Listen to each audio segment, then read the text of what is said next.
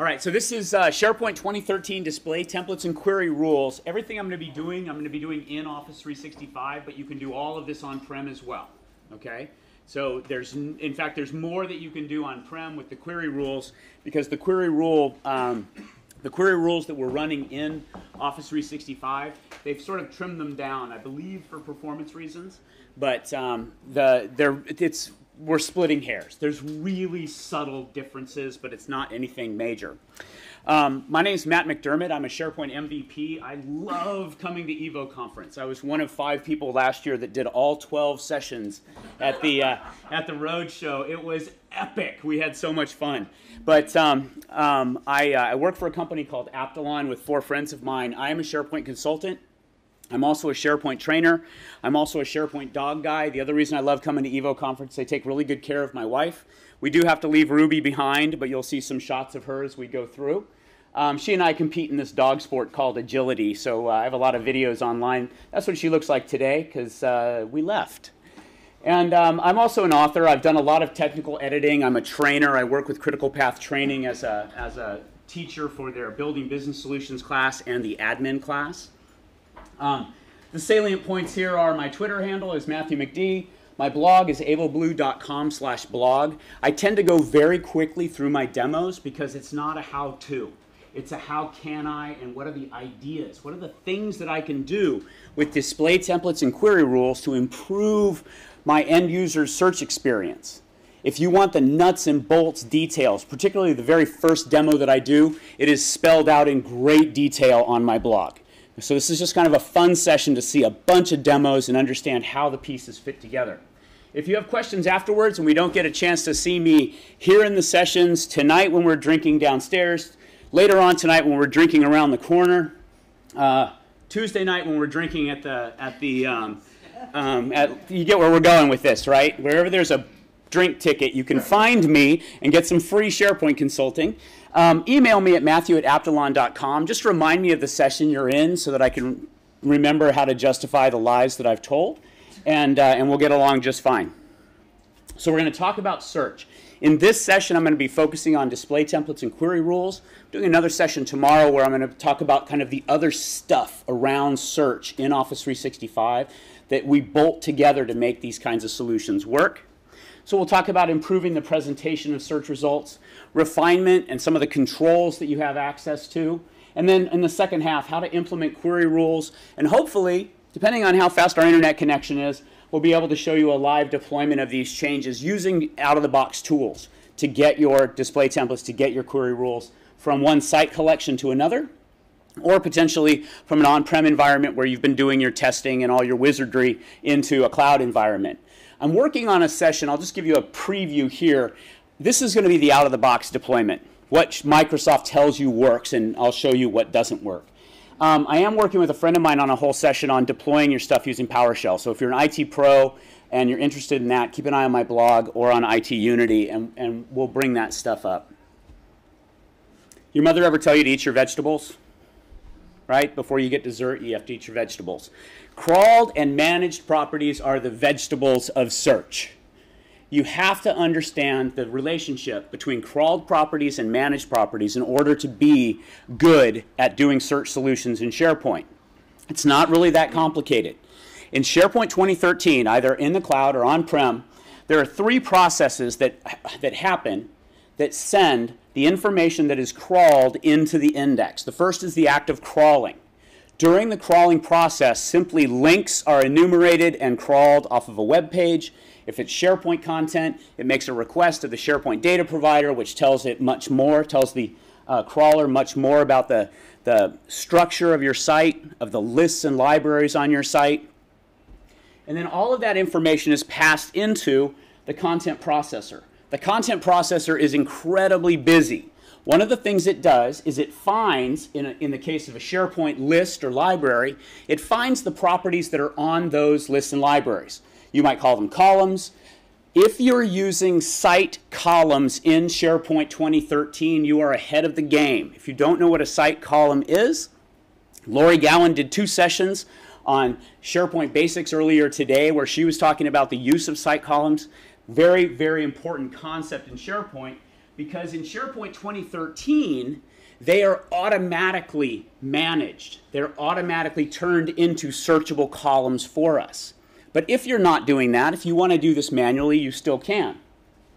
What we do is we manage these properties through the content processing process, and we turn those particular columns that may have any kind of different names into names that we as the search professionals know that we're going to use in our queries. So for instance, I might call product cost that field that is the list price. I might call product color that field that is the product color. It doesn't matter what it comes from, that crawled property name. What matters to me is the managed property name. Tomorrow in my demos, I'll be talking more about that and how you actually create these things. But just trust me, think of them as data fields in SQL. If you don't know the names of the columns, then you say select star and it gives you all of the column names back. We can kind of do the same thing in, in SharePoint Search. Plus, we can get custom properties out and we can get built-in properties. Like, for instance, is document is an important one. That's going to rule out anything that's not an actual document or web page. So, for instance, sites will not show up if I say is document is true. There's even an is my documents attribute that says it's coming off of your OneDrive. Okay, so you can actually do a query against uh, documents in your OneDrive from anywhere in SharePoint by simply saying is my documents is true. So once we understand how these managed properties work, we can start using them in our search solutions. So how are search results generated in SharePoint? Well, a query is executed by an end user. Now they may go to the search center and they may fat finger in a query and hit go. That would be a query that they would execute. But you can also embed a web part on a page, like a content by search web part, that when the page is refreshed, it executes the query. Same action is interpreted by SharePoint that that's a query against the search index. Before it goes to the search index, it goes through something called the query rules parser. This is going to evaluate whether that query matches any of the query rules that we've created. We'll be creating query rules in just a minute.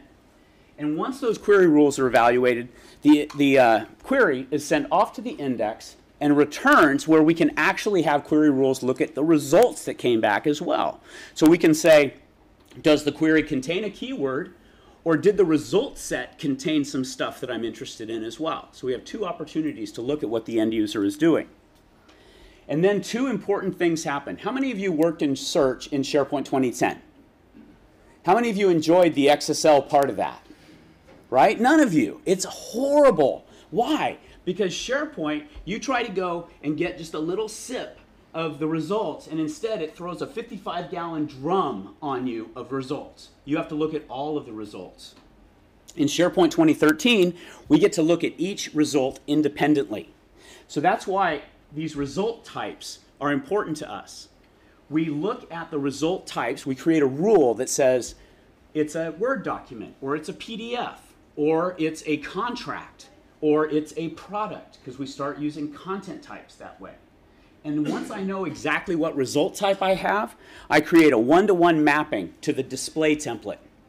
Not I have 50 results per page in that XSL, and I have to say, are you a document? Are you a document? Are you a document? Now you get one rule to drive the display of your search result all of this happens tremendously fast, and that way we create our search results page, or if you've seen the content by search demos, we can also create product catalog pages the same way.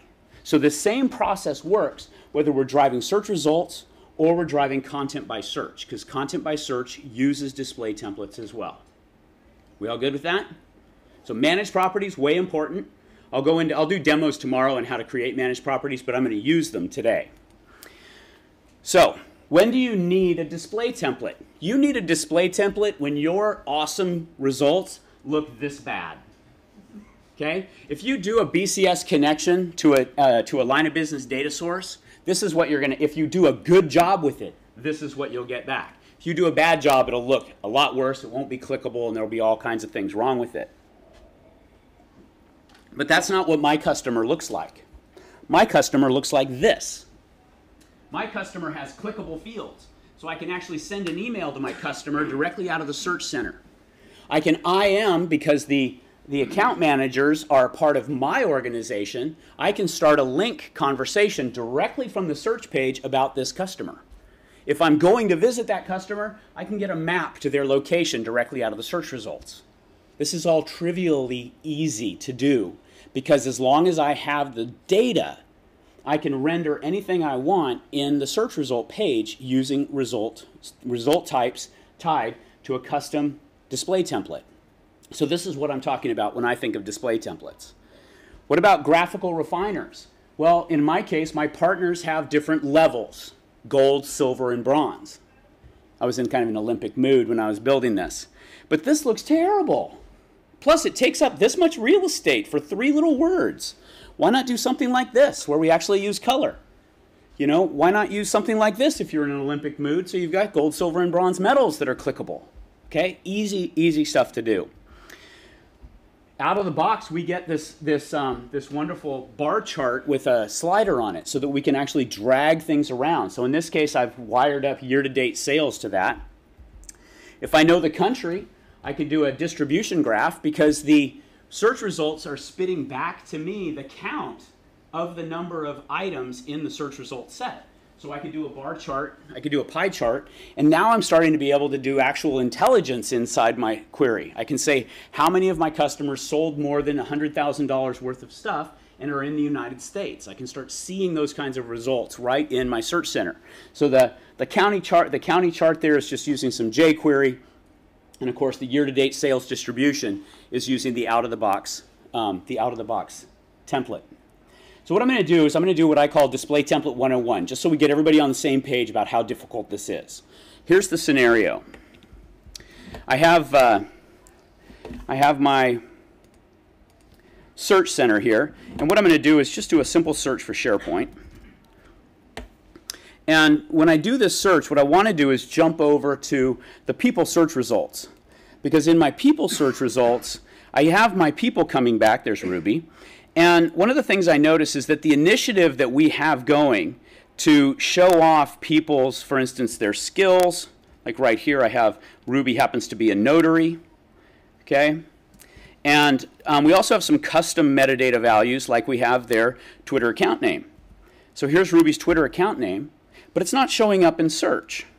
So what I want to do is I want to add that Twitter account name into the search results page so that for the people that are filling out their Twitter account in our user profile, we can show that on the page and make it clickable. Trivially easy to do. The first thing you have to know is which display template do you copy first? This is called the item person display template, so I'm going to copy that one. If you're on-prem and you do this, you go into Design Manager, and inside Design Manager, you'll have a link here called Upload Design Files. And this link will be clickable. For some reason in Office 365 it's not. Okay? So let's go the way that I can go. 100% of the time will work for you as long as you have a design, uh, the design permission on your site. Go into Master Pages and Page Layouts, and then treat this library. Somehow my glasses got bent today. While this is coming up, let me see if I can fix this.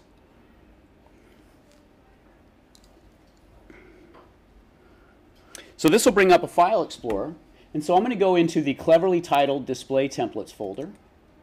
And then I have search, I have filters, and I have content web parts. I'm going to go into search because that's where the display templates for search results are. But if you want to create um, a rendering for a um, content by search web part, you would put it in the content web parts folder because the content web part, when it looks for the display template, it's going to look in there. If you create a refiner like I'll do later, you would put it in the filters folder. That's where that web part is looking. So we're going to go into search and we're going to see that there's a whole bunch of different display templates in here. Some are called control, some are called item, some are called group. I'll talk about that in a slide in just a moment. But what I'm going to do is drop down here to item person. There's an HTML and a JS file. You always, always work with the HTML file. I'm just going to take this and let's, uh, let's get rid of that slide real quick. And I'm going to drag the item person, item person HTML file onto my desktop. I'm going to say, yes, I trust that site. And hopefully, it'll copy it to my, my desktop and delete it. Thank you for doing that. It's on the right. Is it? Yep, there it is, right where I dragged it. Thank you. If your site's not trusted in Office 365, your client OS sometimes will not let you download the file that way. So you have to set up the trust relationship. Anyway, I'm simply opening the file in Notepad++ here. And um, the thing you have to do is you have to put a new string on here. So I'm going to call this one twit. And I'm going to scroll out. Right here are my managed property mappings. You can think of this as the query. What columns am I asking the display template to return? So I'm going to come out here. I'm going to go comma, quote, quote, colon, quote, quote. And my account is Twitter account name. Whoops.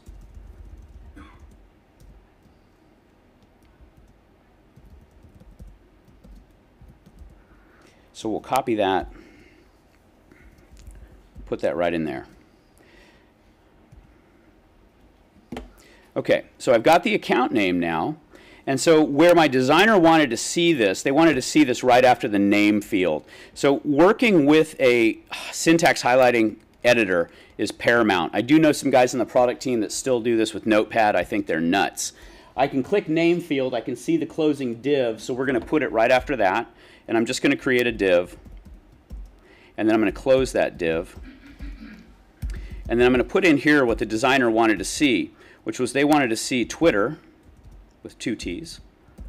And then they wanted to see like the at sign and Matthew McD. They wanted to see it look like that. So what we have to do is we have to set up some token substitution so that we can swap out the Matthew McD part for our actual Twitter account name. So let me get the rest of this set up. I'm going to do an href. We're going to set that href to HTTP, just two T's, there we go. Uh, Twitter. Well, if I can get through this without the the angle of the um, of the podium is kind of odd. We want that to go to Matthew McD as well. Then we'll go ahead and set this to a target equal to underscore blank, just a little trick to make it open in a new window. Okay, so I've got all my HTML in, and now we have to look at doing the token substitution. So I look, and right up here at the top, I see that encoded path. So there are examples of this all over this default file. That underscore pound equals equals pound underscore tells SharePoint to stop processing HTML, start processing variables off the page. So I'm going to do that. I'm going to grab this, right here. And I'm going to go equals pound underscore.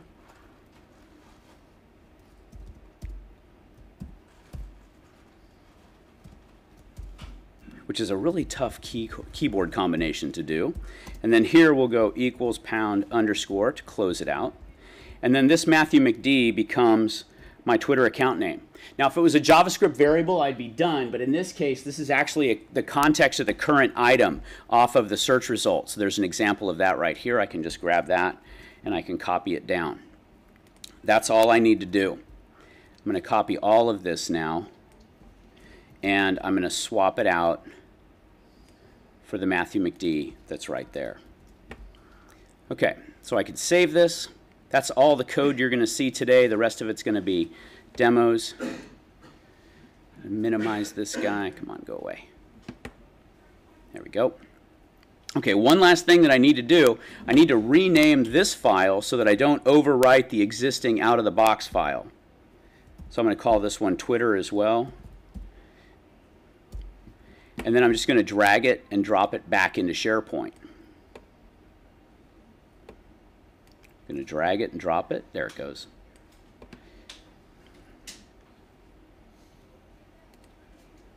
Okay, so I drag it and drop it back into SharePoint, and what SharePoint does is something kind of cool.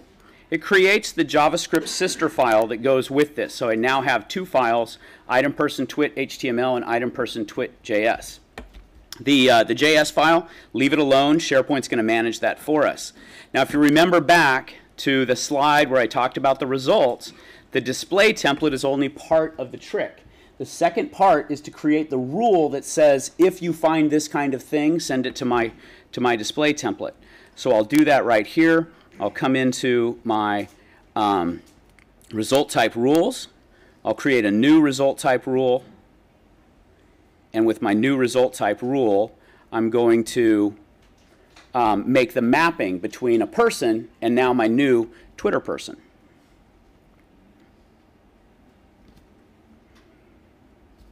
So this is going to be my Twitter person.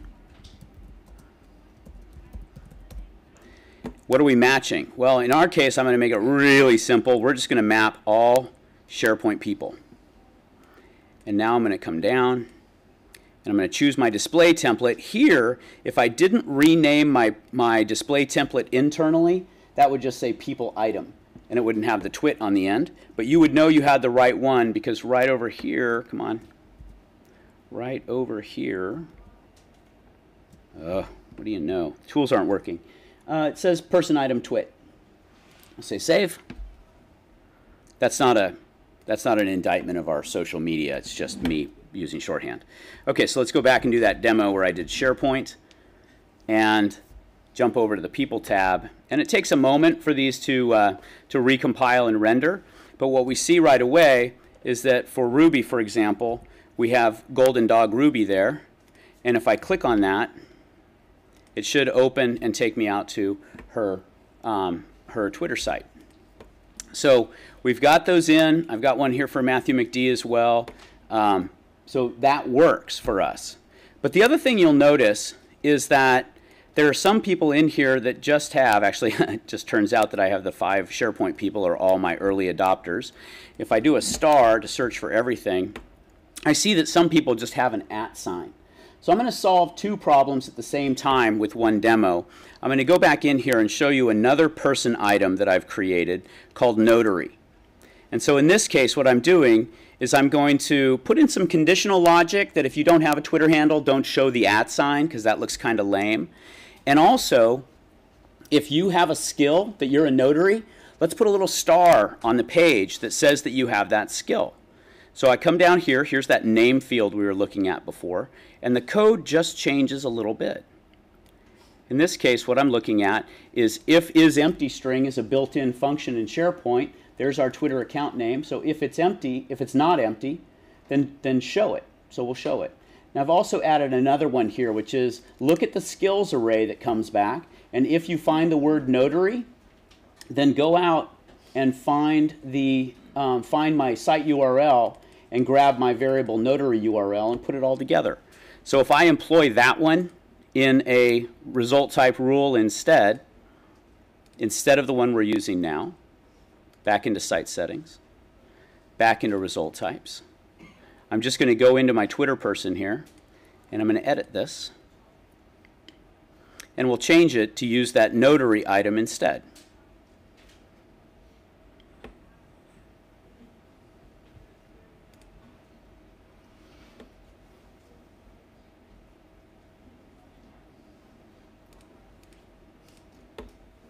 So I'm going to change this from people item twit to people item notary. Choose save. Back out. Do that star search. By the way, star is a great search when you're doing your testing because star says, give me everything you know. Give me everything from search. So it takes a moment for these guys to, uh, to recompile. But once they've done that, so I'm just hitting Control F5 to see that guy come back up. Just lost it. And it looks like it's working. So let's come back and do that SharePoint search. There they are. So now what I've got is anybody who has a Twitter handle, it shows up. If you don't have a Twitter handle, it doesn't. And we've got the little stars next to the people who happen to have notary in their skills. For some reason, my zoomer doesn't like the edge of the screen, but you can see the word notary right there in her skill set. So that's what display templates are for. They're for helping you add additional metadata to the, to the page, add additional information, additional callouts based on the data that you're looking at. So what about the refinement down the side? Well, in my case, I have these, um, I have these products that we've been working with, and I use a content type for that.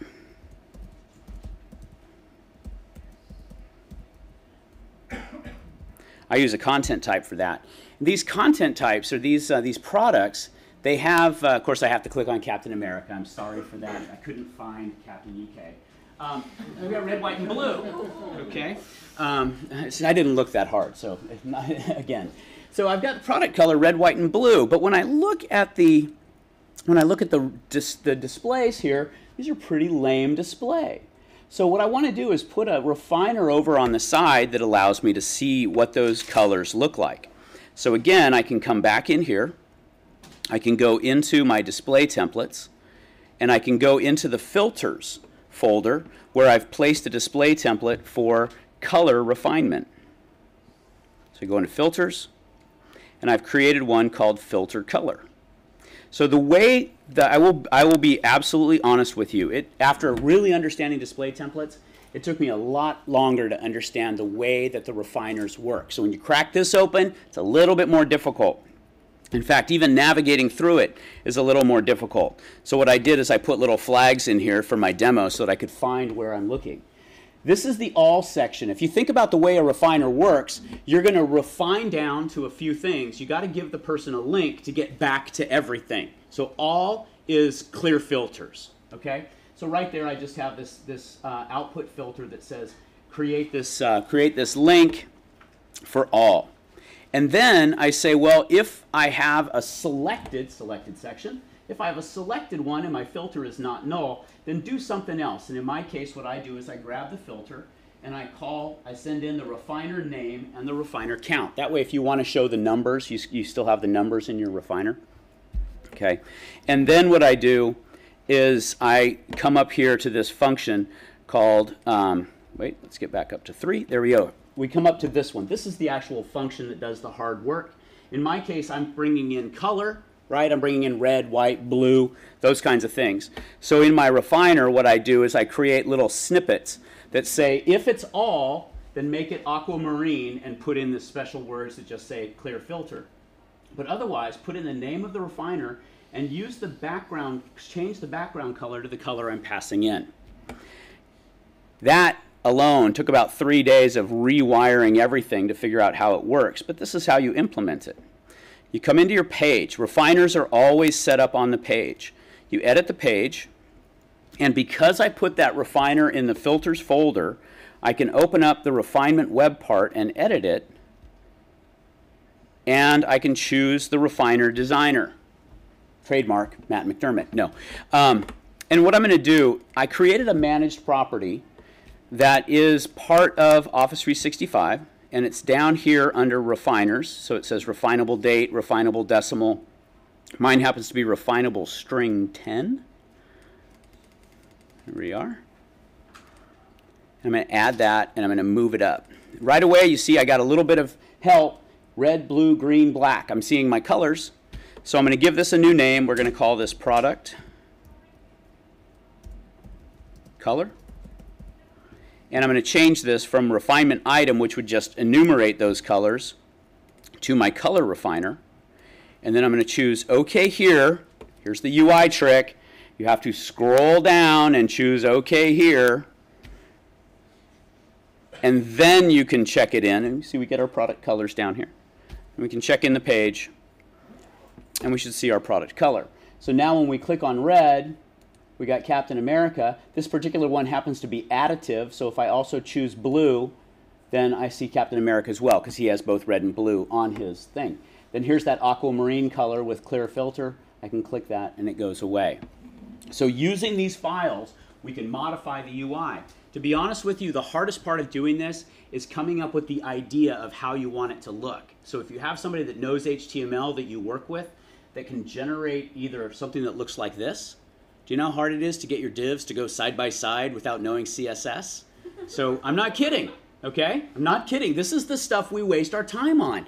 Getting your items to stack. If a, if a designer comes to you and says, here's one search result, that's how we want it to look, say, great, give me the HTML and give me three. Because then he has to deal with making them stack up and making all the CSS work. He gives you the HTML and the CSS, takes you minutes because all you then have to do is that token replacement that I did because you just paste the HTML in. I won't say it's always that simple, because certainly for the refiners it's not. But for the display templates, we took those 2010 results that our clients created in XSL. We didn't touch the XSL.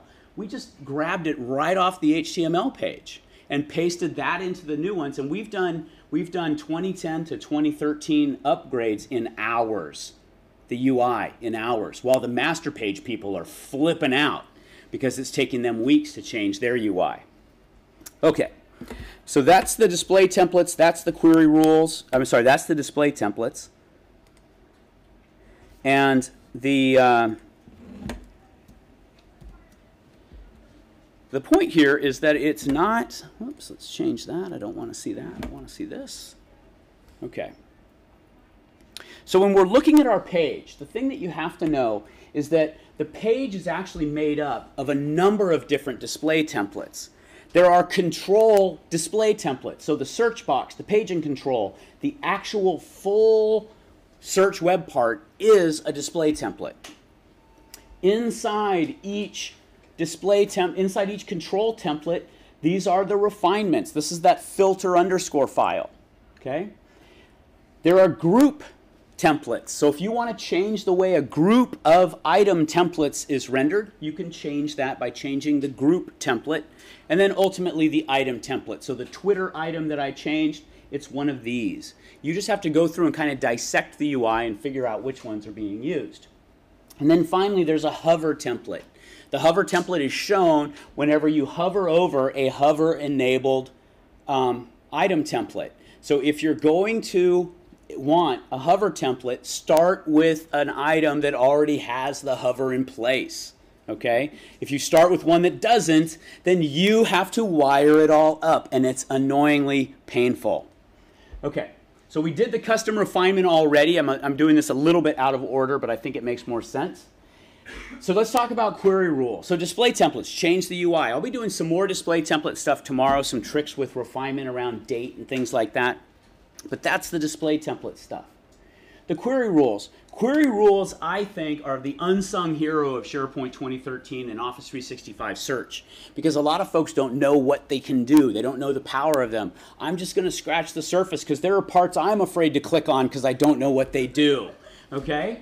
So I'm going to talk about how we can do better best bet handling. How can we use query rules to give our end users what they're looking for?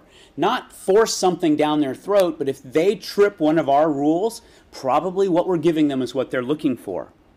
We'll also show you how you can improve the query handling through a couple of different techniques and how you can create more intuitive search results. So I'm going to start off with a simple demo that I like to do that I call Better Best Bets. So if I come in here and do a search for SharePoint, actually let me go ahead and publish this page because that yellow bar is annoying to me. Okay, so I'm going to come in here and just do a search for SharePoint. If I do that search for SharePoint, I just get a whole bunch of SharePoint info. If I search for SharePoint training, I don't get a lot. I get the career training site and stuff like that, but there's actually a, a SharePoint training class coming up, and our um, our crack graphics department has come up with a little teaser to help us publicize that. So I'm going to go into documents here, and this is the snippet that they gave me to work with. It's a, a class that we're going to be having in uh, Austin. And so what I'm going to do is grab the URL for this because this page, and this could be a page in your intranet, it doesn't really matter, but for this demo, what I'm doing is using something called a visual best bet, or what we now call a promoted result. So I go back into site settings and I go into query rules, and I'm going to be looking at the query rules for the local SharePoint results. And I'm going to create a new query rule. This one's going to be called SharePoint Training. Because I want to force the SharePoint training when people are looking for SharePoint stuff.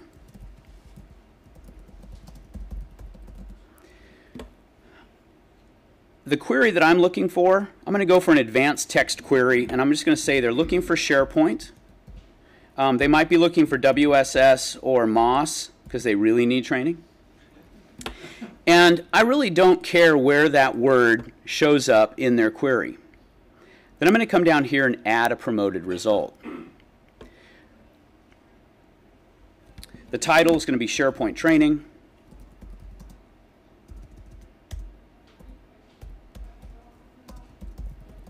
And if I did nothing else other than that, when they trip this rule, it would just show a little blue check mark and SharePoint training and a clickable link to that location. What I'm going to do instead is render the URL as a banner because the clickability is actually built into that little, um, that little file. Now, this class is being run on May 5th, so I'm going to come down to publishing and I'm going to put in an end date because I don't want it to show after the class is over. So I'm going to come in here and uh, we'll make this expire on May 4th. Now, you could also have a review date. So if you if you have uh, in the states we call it open enrollment when you have that period of time as an employee when you can change your benefits packages and everything. So a lot of times we'll put a review date in there so that the open enrollment rule gets tripped. We want to make sure that as that new content is being generated. Here's the tip. The contact person will get an email to come evaluate the query rule. You want to put your HR manager on that list? No, you don't. you are the person who gets the email. Then you walk over to the HR manager and say, Remember this? Is this still valid? So evaluate it with them. You're the search expert. You know what that means. Choose Save.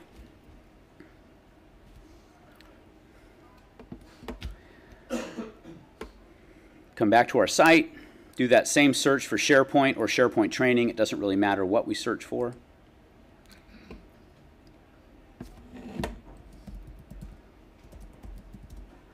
And we should get our query rule run. So here's our query rule, and if I click on that, it's going to take me down to that corporate training site because the clickability is built into the template into that uh, ASPX page that we're rendering in that spot. So the only challenge here is that the out-of-the-box display template for this best bet is of a certain dimension, okay? And so all I'm doing is making sure that my box fills that up and it looks good. That's the only trick there.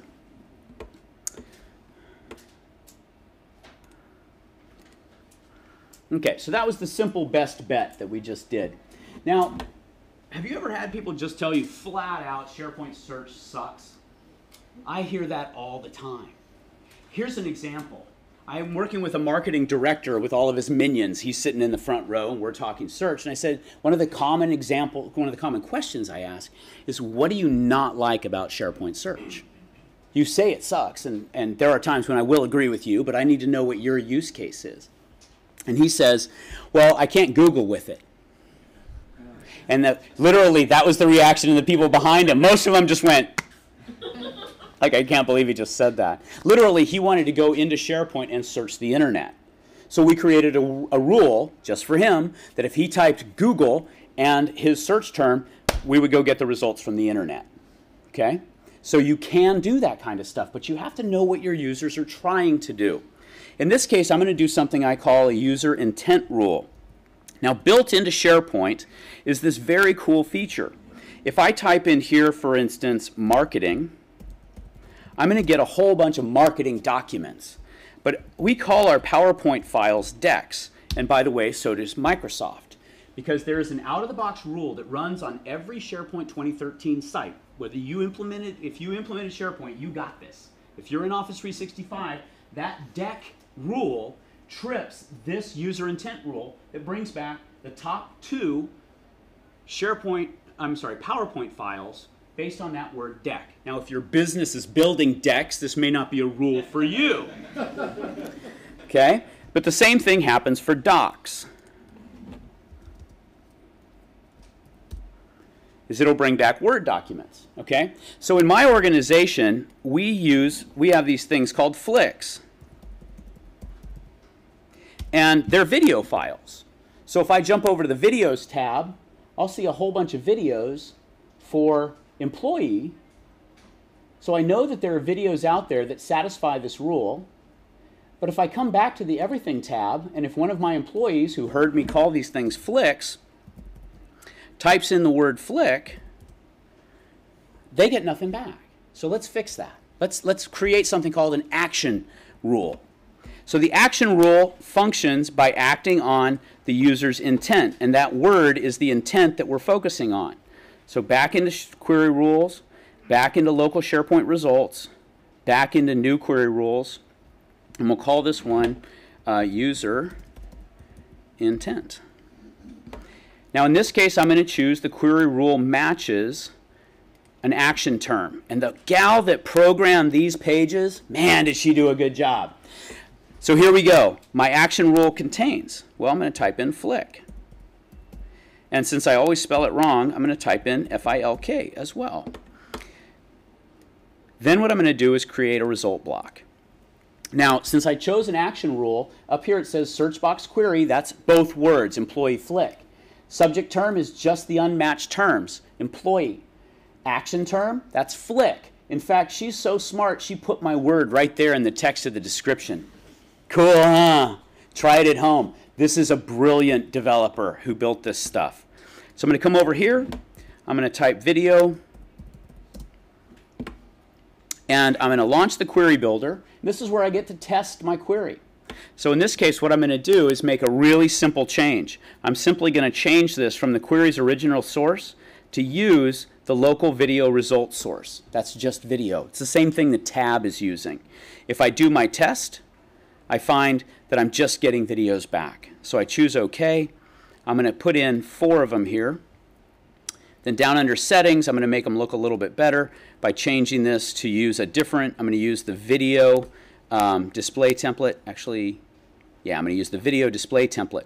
Now, I have to talk about this little block here. This little block right here that says this block is always shown above the core results or the block is ranked within the core results. I always choose the top one in my demos because I always want them to show right at the top. Okay? In your world, you will probably choose the bottom one, which is the default, more often than not. Here's the reason. I'm a SharePoint expert. I author SharePoint documents, okay? If I do a rule about SharePoint documents that I authored, then that's going to float to the top. In fact, most of my documents are going to end up at the top because they're very relevant to SharePoint. If I check this, if I check this second one, it'll float within the results rule it'll float within the stream of other more relevant documents so that if somebody is less, um, uh, less good at SharePoint, to use some horrible English on either side of the pond, um, we want their results to have the most relevant stuff at the top. So most of the time you'll choose the other. In my demo, I always choose the one that I have there. Come on, come on back. Where's my desktop? Ugh. There we go. So I've got my video results. Now I could also come over here and create a more link. So let's add one more thing, V-I-D-E-O. Whoops, hang on. We've got a control key issue. V, yep, there it goes. Which happens to be called video results.aspx. And then if we do question mark, keyword equals, and we grab that subject terms, magic happens. Because it's going to strip off my, my intent word. Choose OK. I know I chose it. There it goes. Choose save.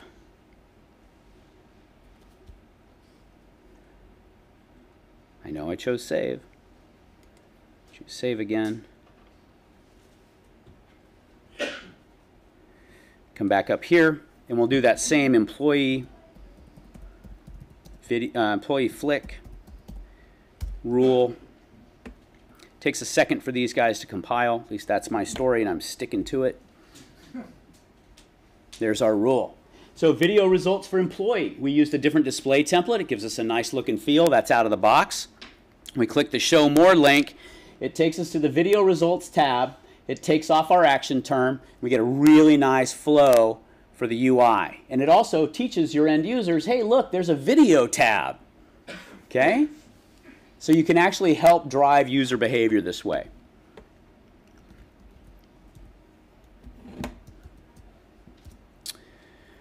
Okay, so one of the other things that we have access to is we have access to the user who is executing the queries.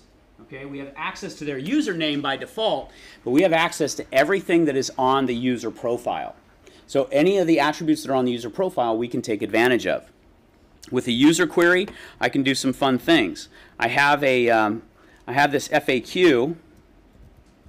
I have this FAQ page, and on my frequently asked questions, I have the location where the question, where the answer to the question resides. Come on. The one thing I don't have time for is for Office 365 to be slow. Okay, so right here I've got um, the location is North America, North America, Austin. Okay, so I've got some some FAQs here that are for um, a location. Ruby happens to be based in Austin, so if she asks a question, if she asks a question that happens to have an answer that is in her location, I want to promote that answer to her. So let's go to Query Rules. Let's come in here and choose the local SharePoint results. Create a new query rule. And this is going to be FAQ DEPT. I really don't care what her question is. So I'm going to remove the condition. I'm simply going to create a new result block. This is going to be FAQ results. Come into the query builder. And right here, I'm going to use her subject term, but then I'm going to run it against my FAQ search result. So I can test that. I'll show you how to get around it when your results turn, return nothing.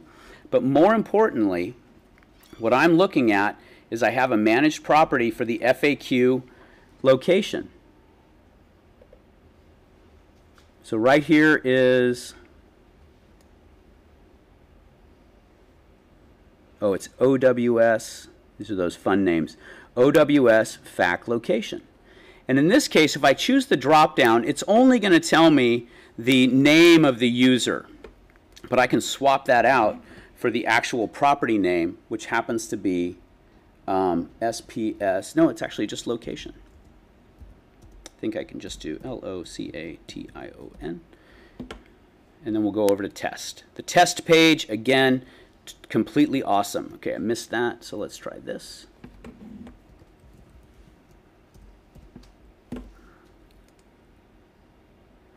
Valid string.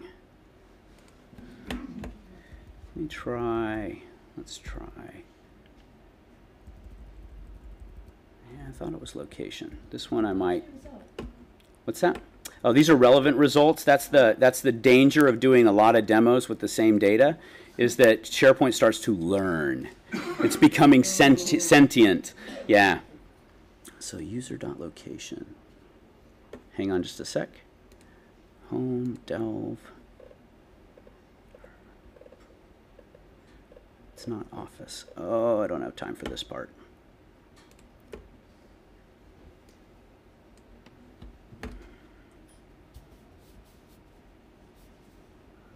Out. What if I do department? There it is, finance. Okay, finance will work. What I'm going to do is, uh, so it picked up her department. I'm to I'm to bail on this demo because I have one more important one that I want to show you. But you can actually, that's actually picking up, I'm logged in as Ruby, so it actually picked up my department after the user profile, and I can actually embellish that. So if I change this to Austin, which is what I was actually looking for, then it shows how do I change my password in Austin. So it's actually showing me the search results for that. I want to get to how to promote this and config, and I'm worried that Office 365 is running slow. So if you really want to see this demo, I promise I'll show it to you outside the room. But that would end up showing me those two results with her location in Austin had I chosen, had I actually written down the right query in my notes here.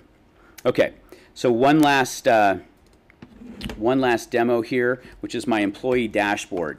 So in my in my fictitious company here, um, I have a, an app that actually runs, and on the benefits in the benefits department, in the benefits department, um, they have this app that's running, and it will show you from the corporate benefits um, from the corporate computer, it's integrated into SharePoint and it shows up like this. It's just a little benefit snapshot. Lets them go do a leave request and paycheck and stuff like that. But since the developers did that as a third-party app off of SharePoint, I can actually take the URL to that and I can create a search experience around that so that if an employee does a search for benefits, I can create a query rule that will run to show them that information. But I want to show you this as a cautionary tale. So back into site settings, query rules. Wouldn't it be cool if somebody searched for benefits and got that information? So local SharePoint results, new query rule, call it benefits,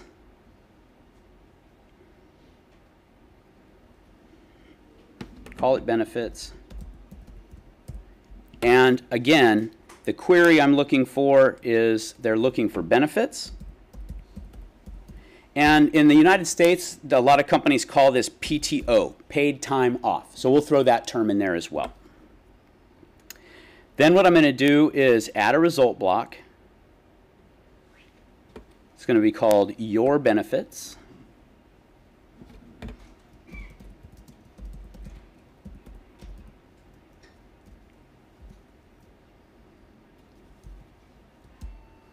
Get rid of all that stuff because I really don't care what they searched for. And what I'm going to do is change this to 1 because I only want to see one of their items.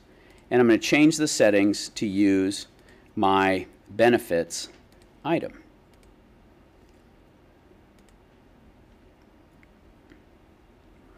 Okay, so I've shown you everything that's worked well up to now.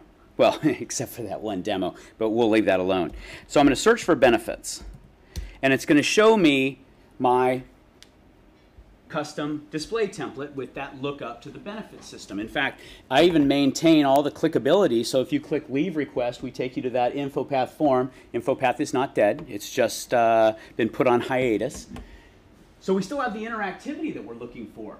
But here's the problem. Since I set this up as a display template, you have to have at least one result. Okay? So I have results down here. But if I use that phrase PTO, nothing shows up. Because there are no results for paid time off. Since there are no results for paid time off, it's not going to render your query rule. So maybe use a best bet instead. Maybe use one of those those uh, best bets, or simply go to some list, give everybody access to the list, type in the words PTO, and you're done. Because SharePoint will find that. You have one result with PTO, and instantly it came back. That's how we fixed it at a client. I'm not kidding.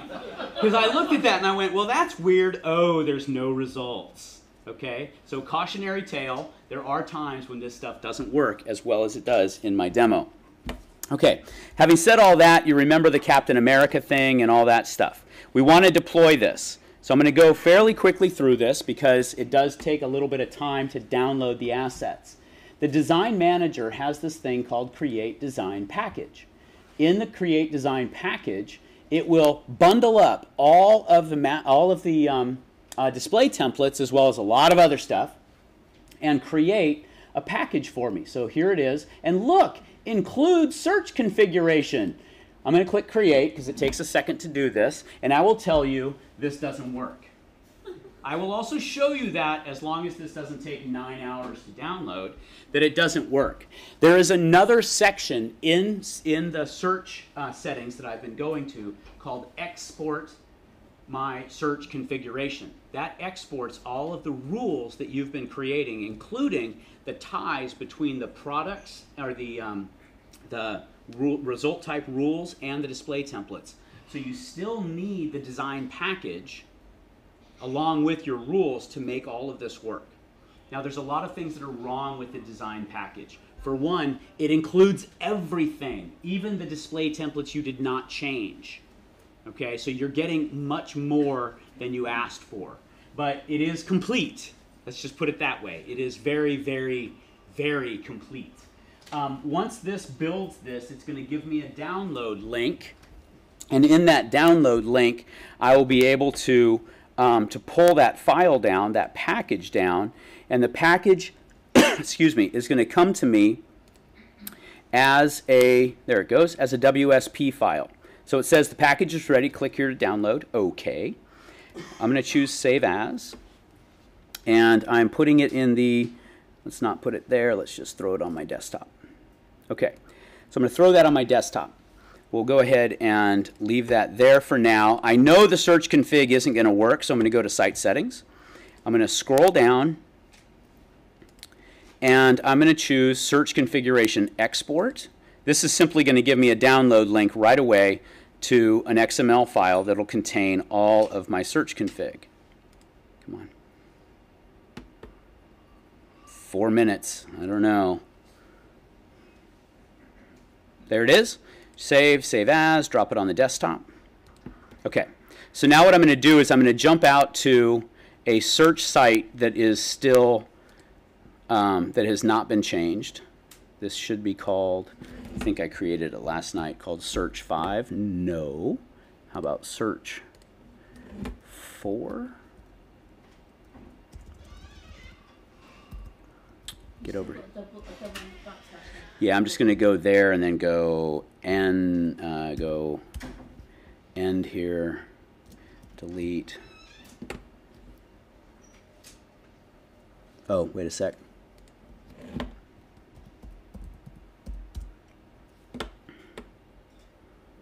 Just thinking about it. Okay, so uh, SharePoint's weird. Okay, so I'm going to do that same thing. I'm going to search for, uh, let's just search for A M E R I C A America.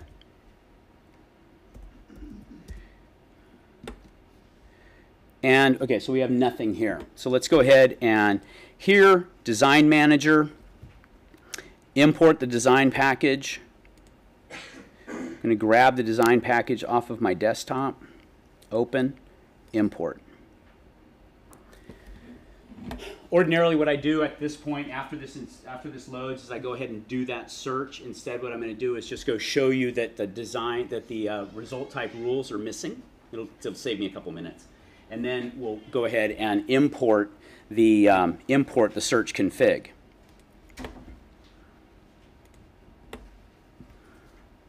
Two minutes. So I, I want to change the resx file for this and have it say this shouldn't take this long.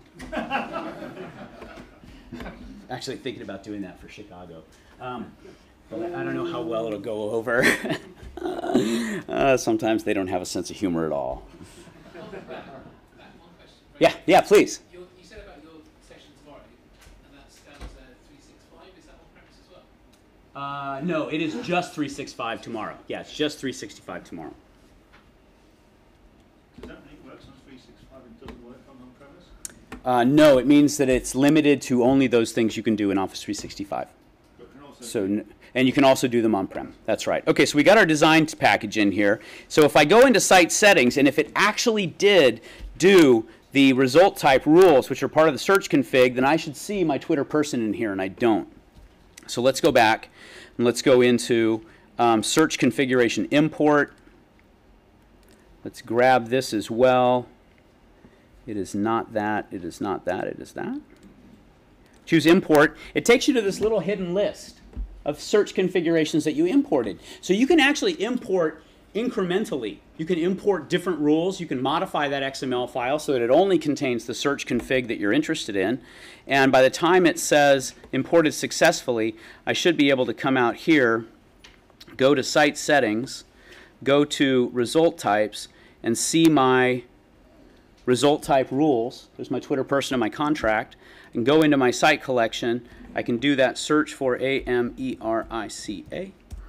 And I should see, oh, you know what? I won't see the, the um, refiner because that's a configuration for the web part. But if I do a search for SharePoint, HairPoint, that's great. SharePoint. And jump over to people, there's my, there's my best bet, okay? And if I go over to people, there's my Twitter account name, and there's my design. That's when it works. There are a lot of situations where that doesn't work. And the biggest problem I have with it is that it contains all of the out of the box display templates. The package is much larger than it needs to be. Now, it is only a WSP file. Don't be afraid. It means CAB. Rename it CAB. You can go in and pull assets out and stuff like that as well. Okay, so just a couple of call to actions and we're all done. Um, these are your deployment options. Whoops, those are your deployment options. Design Manager, import and export search config. You have to do them together because the, the Design Manager doesn't export the search config.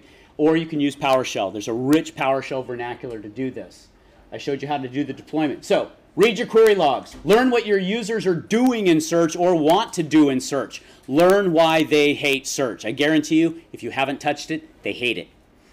Try some basic query rules. Just try, see what sticks with your users, and then try to make your results actionable. There's a bunch of, of uh, search sessions coming up, both today from uh, Martin Hatch. He's doing a JS Link one. That's great if you're a developer and you want to learn how to do more of the JavaScript stuff in the pages. If you're more on the IT side or on the envisioning side, Joel has a strategy session. And then uh, Waldek, uh, Paul, and Waldek again are doing some different search sessions this week.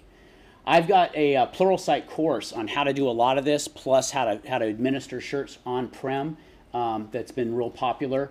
Um, that's available too. It's about four hours of search training that includes a lot of the display template work. And um, I'm on itunity.com as well.